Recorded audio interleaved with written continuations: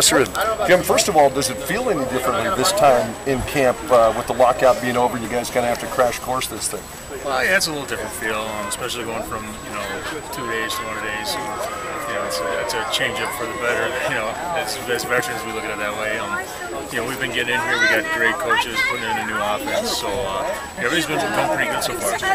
You're an old dog, so does everybody just look to you? I saw you yesterday leaving camp and just it looks like this is just your home for the last 10 plus 12, 13 years, right? Yeah, yeah, it's, it's been a while. Um, you know, you, you, think about all the all the days count up you've been here. Um, you know, it, it, takes a little bit off, but uh, you know, it's uh, it's good to get out here and get run around and show I still got it. What's the feel? Uh, what, what's your gut tell you? You've been in the camp now a little bit about the offense, about you know Kyle Rudolph, a young tight end. It wasn't that long ago that you were getting things done for UND and then joining the Vikings. Now you could probably look at him and say, uh, here's what you have to look forward to. But talk a little bit about the feel of some of the new guys.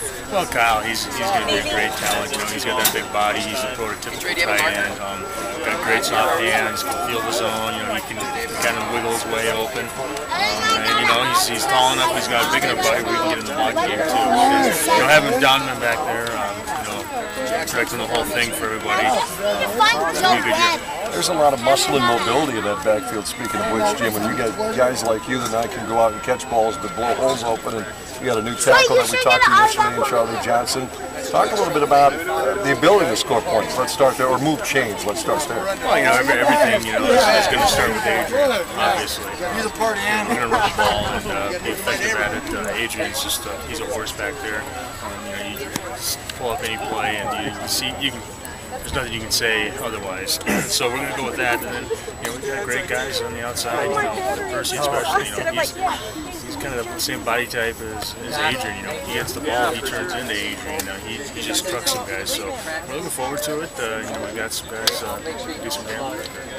It'd be fun to fast forward, Jim, to September 11th in San Diego. You get four preseason games, some of which you guys are going to get a lot of reps, some maybe not so much. Talk about what the preseason does uh, from a fan's aspect that don't understand what you use preseason for. Talk about that. Well, you know, it's basically just to get, get yourself into a little bit of game shape and uh, get the offense down and get you know your timing down uh, with quarterback, uh, offensive line. It's all about getting your fits and getting your feel for each other, working together.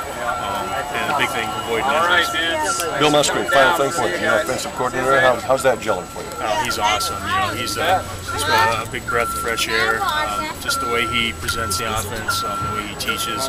Um, you know, I couldn't be happier to have him. I have to ask uh, Jimmy a college question your old school, step away from the Big Sky. They got one more year left in the Great West. They got Drake coming up, but it's at Idaho, at Fresno State. You still follow uh, UND quite a bit. Yeah, definitely. Uh, you know, I was excited uh, hearing that anything else you have on that shirt Great Sky, and I think it's a big step for the program. Uh, you know, I got a lot of people that are uh, working in the, in the front office there, and uh, that uh, a couple guys I've played with. So uh, it's it's always fun to uh, to get the emails from them and, uh, Good stuff. Jim, thanks for the time today, and uh, good luck. Thanks. Thank you.